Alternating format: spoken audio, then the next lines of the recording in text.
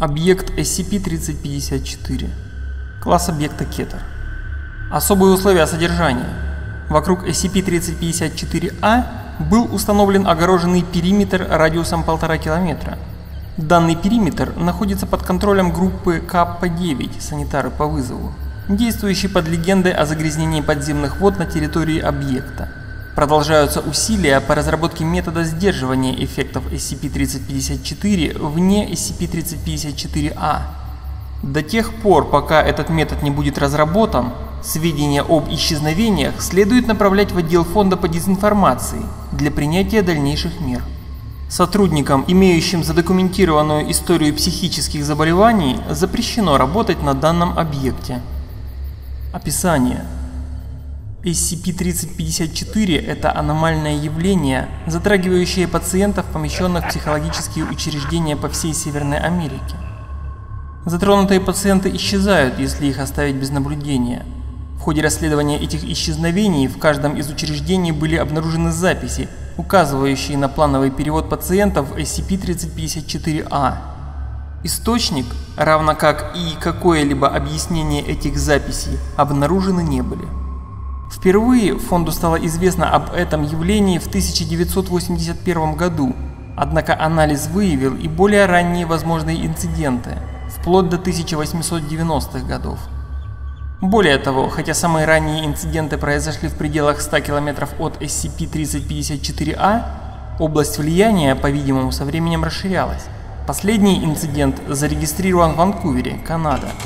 На данный момент произошло 912 исчезновений, связанных с SCP-3054. Ожидается раскрытие большего числа инцидентов.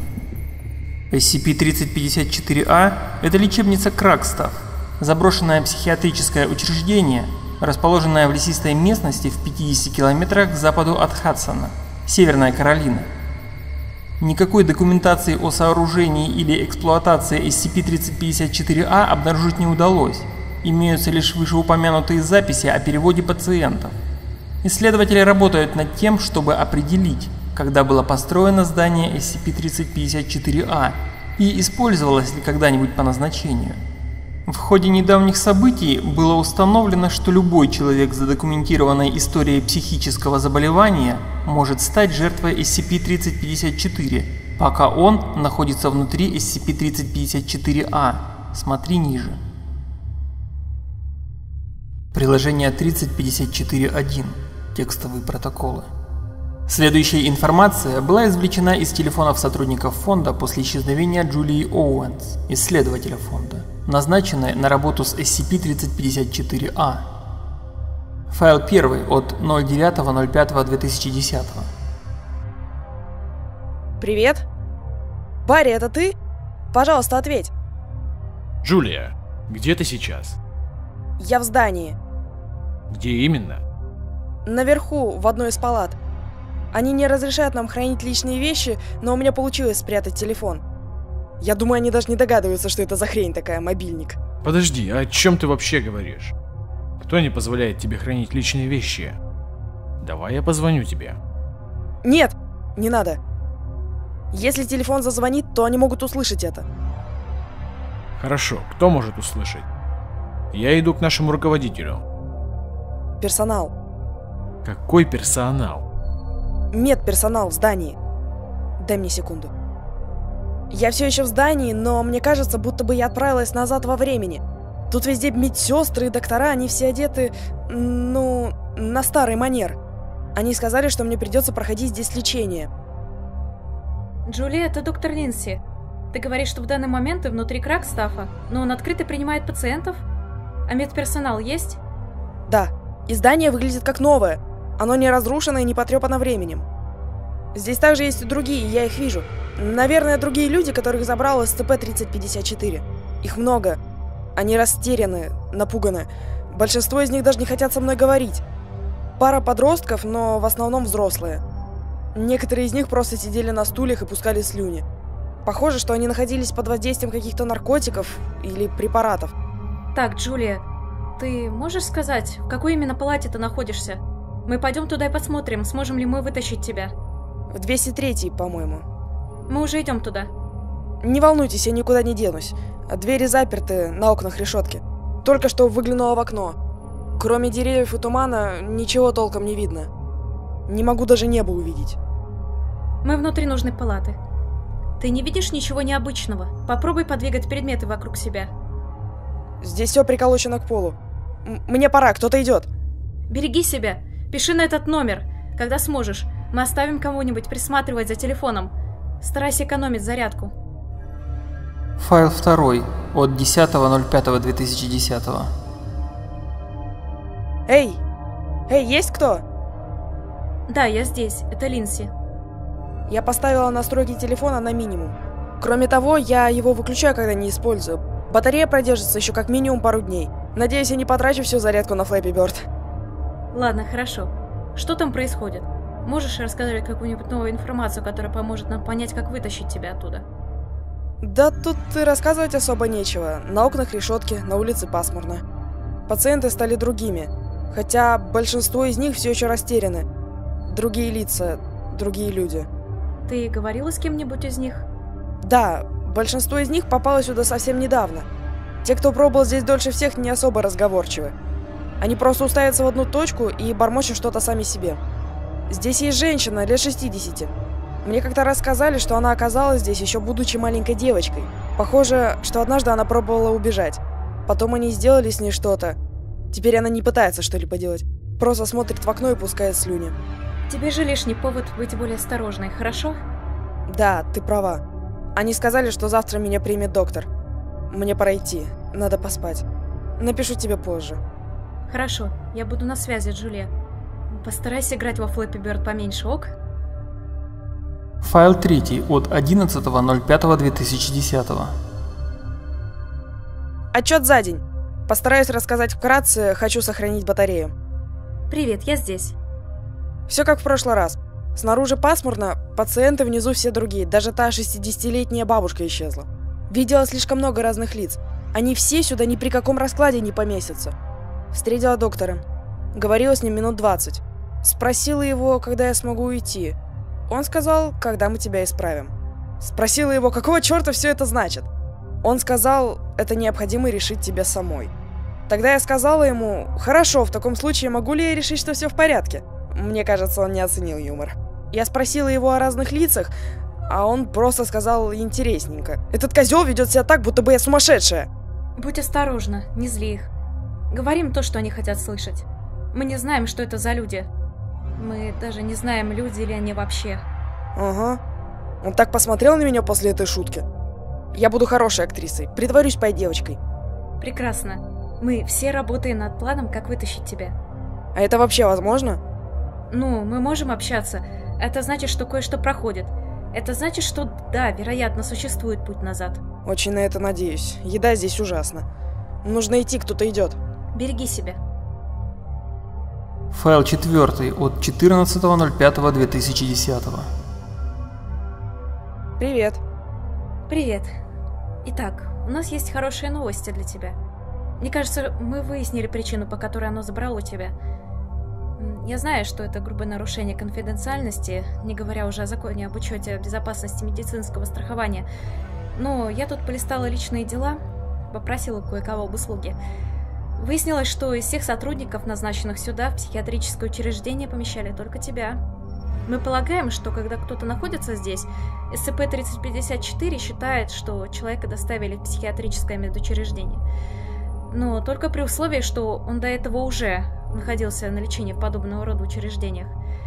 Если мы правы, то это означает, что мы знаем, как отправить туда людей – Учитывая, что телефон остался при тебе, мы можем послать к тебе кого-нибудь э, с гораздо более полезными предметами. Это может быть что-то, что поможет вернуть тебя и всех остальных назад. Это еще не решение, но во всяком случае его начало. Джулия? Угу. Да, звучит неплохо. Я бы очень хотела уйти. Ты в порядке? Начала прием лекарств несколько дней назад. Все как в тумане, я нихуя не могу запомнить. Прости, мне тяжело сосредоточиться. Поэтому я не писала. Долго спала. Нет, все в порядке. Я все понимаю. Еще пообщалась с другими пациентами. Некоторые из них даже не помнят, когда они тут оказались. Я думаю, это из-за лекарств, но я не знаю. Быть может, это само место. Один из них сказал, что я могу подать заявление о том, чтобы покинуть учреждение. Появляется судья, и надо отстоять свою точку зрения. Судья может принять решение отпустить вас. Я спросила, смог ли кто-нибудь уйти таким образом. Похоже, никто не знает или не помнит. Я спросила, выходил ли вообще кто-нибудь. То же самое. Я думаю, большинство из них сдались. Они просто пялятся в окна и жуют свои таблетки. Но я не сдаюсь. Я не хочу помирать тут. Не волнуйся, мы вытащим тебя отсюда. Я обещаю. Я подала заявление суде этим утром. Увижу его завтра. Ты уверена, что это благоразумно? Это вариант. Я его пробую. Я не могу больше тут торчать. Это... Это даже не ад. В аду, по крайней мере, было бы интересно. А это просто ожидание смерти. Так тому и быть. Но, пожалуйста, будь осторожна. Мы все еще не знаем, с чем имеем дело. Я буду осторожна. Я иду спать. Спокойной ночи. Хорошо, спокойной ночи. Береги себя. Файл 5 от 15.05.2010. Твою мать. Джулия? Черт, черт, черт! Твою мать, бля! Что случилось? Бля! Ответь мне, Джулия, пожалуйста. Это не сработало. Они вдвое увеличили мне дозировку препаратов до того, как я встретила судью. Я не могу и слова внятно произнести, а он просто пялится на меня. Затем появилась куча врачей, я никогда их не видела раньше. Они начали говорить о том, что я не общаюсь с другими пациентами, что я не принимаю душ и не расчесываю волосы. Ебануться! Какой душ? У меня никакой другой одежды, кроме той, которую эти сволочи мне сами и выдали. У меня даже нет расчески. Каким, блядь, образом расчесывать волосы? И никто мне ни разу не говорил, что я должна больше общаться с другими пациентами. Они вообще никогда ничего мне не говорили. Потом они припомнили ту хрень, что я сказала доктору. Я имею в виду то, как я сказала, что лица продолжают меняться.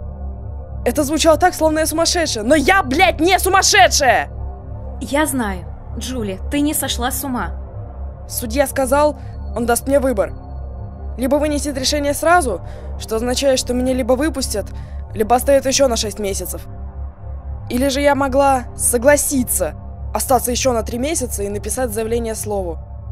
Я... К черту, я, я не смогла! Я была так напугана, я прогнулась. Мне так хреново, я, я плачу. Что со мной не так? Джули, успокойся, пожалуйста. Я не думаю, что тебе удастся покинуть это место своими силами. Я думаю, что тебе надо сфокусироваться на том, чтобы остаться в здравом уме, пока мы выясняем, как вытащить тебя. Хорошо? Нет, ты не понимаешь. Я застряла здесь еще на три месяца, я сама согласилась с этим. Джулия, меня не волнует, что ты им сказала.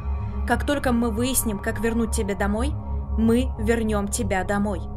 Даже если придется взорвать это проклятое место, меня не волнует. Мы вернем тебя домой. Поняла? Ладно. Ладно. Я хочу извиниться, я все испортила. Надо было молчать. Джулия, ты не сделала ничего плохого. Расслабься. Все, что с тобой происходит, не твоя вина. Это место, оно неправильное. Хорошо? Джулия? Хорошо. Я иду спать. Пожалуйста, верните меня домой. Я просто очень хочу вернуться домой. Мы сделаем это. Я обещаю. Приложение 3054.2. Аудиопротоколы.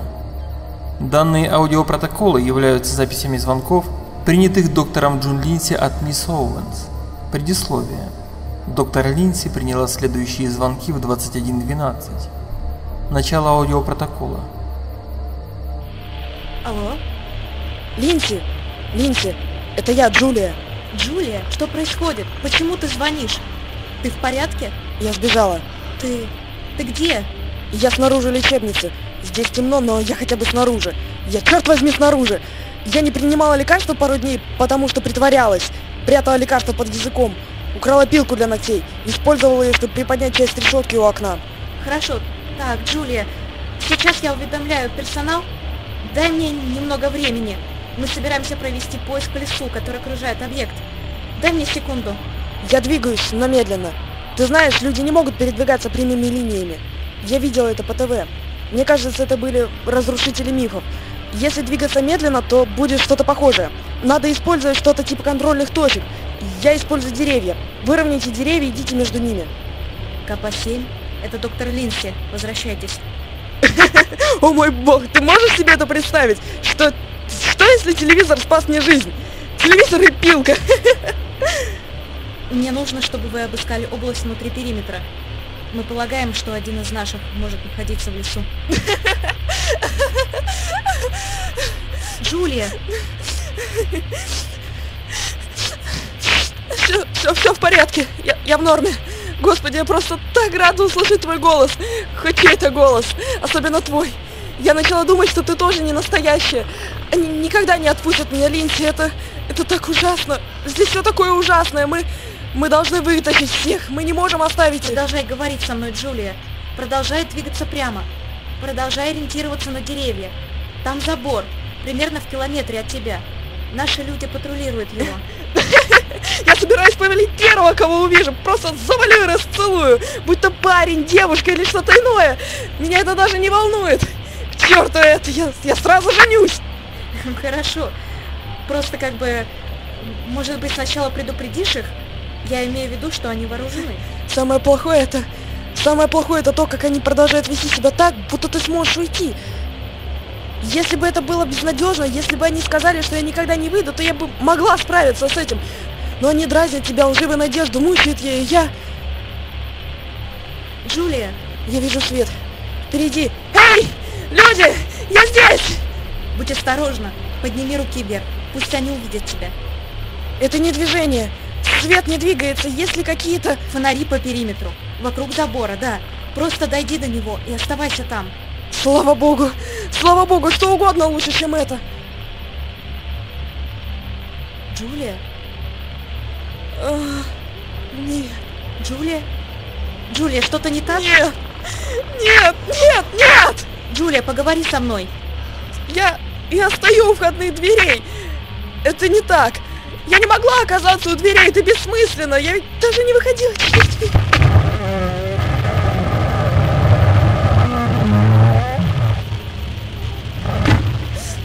Джулия!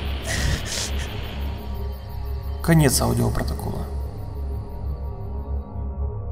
Предисловие. Доктор Линси ответила на звонок в 13.05. Алло, Джулия, это ты?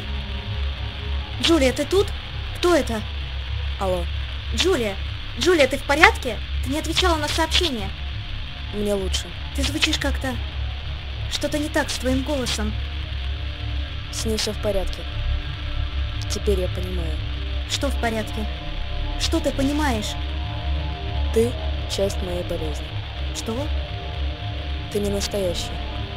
Ты – голос в моей голове. О чем ты говоришь? Я думала, они не знали о тебе. Я думала, они не знали, что я говорила с тобой. Но все это время они знали. Пожалуйста, Джулия, что бы они ни говорили тебе, это все неправда. Я думала, что я была находчивой украв ту пилку. Пыталась сбежать. Но они проверяли меня. Они сами оставили мне пилку, чтобы я смогла найти ее. Они хотели, чтобы я сама увидела. Увидела, насколько я больна. Прошу тебя, хватит. Пожалуйста, послушай меня. Ты не больна, ты не сумасшедшая. Я говорю с тобой сейчас только потому, что это часть моего лечения. После этого я больше не буду с тобой говорить. Я должна сосредоточиться на здравом состоянии. Я должна позволить им исправить себя. Умоляю, не делай это, пожалуйста. Остановись. Нельзя дать им взять верх.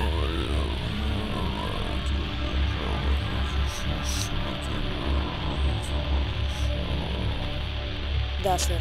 Хорошо. Джулия. Доктор хочет, чтобы я передала тебе послание. Джулия, остановись, пожалуйста. Мы идем за Он тобой. попросил сказать тебе, чтобы ты передала своему руководителю, а те рассказали своему начальству. И так вплоть до самой верхушки. Пожалуйста, прекрати. Я собираюсь вытащить тебя. Я обещаю. Вы больны. Вы испорчены. Мы вас исправим.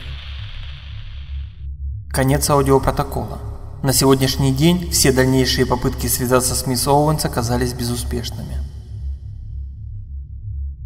Приложение 3054.3. Следующие электронные письма приведены здесь с целью описания подробностей инцидента, произошедшего 5.07.2010. Дата 21.06.2010. От кого? Директор Браунинг. Кому? Доктору Линси. Тема. Ответ на письмо обновления документа.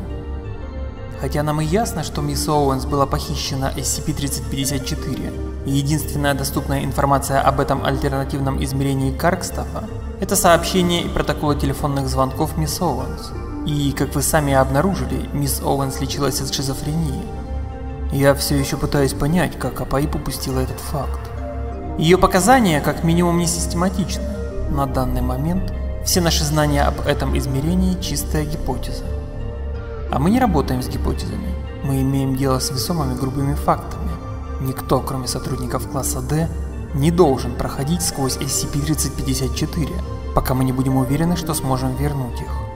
Возвращение мисс Оуэнс – высокоприоритетная задача, но перед нами также стоит задача защиты сотрудников фонда здесь и сейчас. Кроме того, я не собираюсь посылать вооруженный отряд в измерение, о котором мы ничего не знаем. Нам нужно больше данных. Кроме того, учитывая, что природа SCP-3054-A может быть направлена на лиц с документально подтвержденными психическими заболеваниями, я отклоняю вашу просьбу о психиатрическом лечении по причинам, которые должны быть предельно ясны. Вместо этого я даю вам двухнедельный оплачиваемый отпуск, вступает в силу немедленно. Возьмите паузу, Джун. Забудьте о мисс Оуэнс, позвольте нам самим разобраться с этим. Запроси немного амнезиаков, если они тебе необходимы. Приведи голову в порядок, чего бы тебе это ни стоило. У нас много работы. Дата 05.07.2010. От кого? Исследователь Филлипс. Кому? Директор Браунинг. Тема. Инцидент. Немедленно свяжитесь со мной. Если вы читаете это, либо вы уже знаете, что происходит, в таком случае можете не читать дальше. Либо же вы только включаете ваш компьютер, но еще не успели проверить телефон. Если это так, бросайте все и позвоните мне немедленно. Вы можете продолжать читать, пока телефон звонит. Доктор Линси пропала. Это произошло сразу же после того, как она вернулась из отпуска.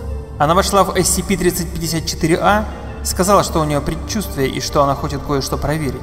А потом, спустя час, никто не смог с ней связаться. Три часа спустя мы все еще искали ее, Внезапно одно из зданий на западной стороне SCP-3054-A просто обрушилось, как будто кто-то с помощью взрыва проделал чертову дыру в нем. Мы спешно ретировались. Я пыталась до вас дозвониться, оставила 5 сообщений в голосовой почте и 20 с лишним смс, а потом кто-то нашел записку. Джун оставила ее на своем столе вскоре, после прибытия в SCP-3054-A. Я ее отсканировала и отправила вам копию на телефон, но процитирую и здесь для наглядности. Если вы это читаете, значит меня уже нет в этом мире. Позвольте рассказать вам о моем отпуске. Я чудесно провела время, повидалась с семьей, посмотрела несколько фильмов, позаимствовала отцовский пистолет, смогла завладеть несколькими гранатами, съездила к берегу. Нашла психиатрическое учреждение, которое приняло меня на одну ночь для того, чтобы я могла проконсультироваться по поводу горя. Я пойду туда. Я вернусь либо с Джулией, либо не вернусь вообще.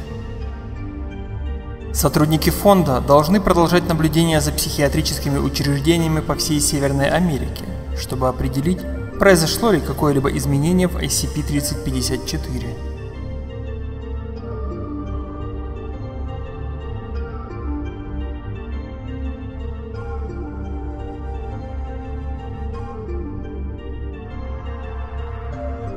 У нас появился магазин с футболками с нашим фирменным артом. Заходите, интересуйтесь. Ссылочка в описании.